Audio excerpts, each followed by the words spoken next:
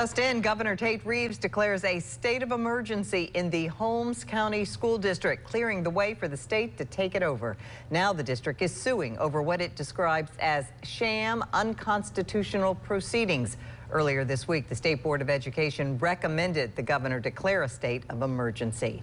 In a statement released on Twitter, Governor Reeves said, quote, ensuring Mississippi kids have access to a quality education will always be a top priority. This declaration of an extreme emergency situation within Holmes County Consolidated School District will hopefully give the kids of this district a chance at success in life because each one of them deserves nothing less.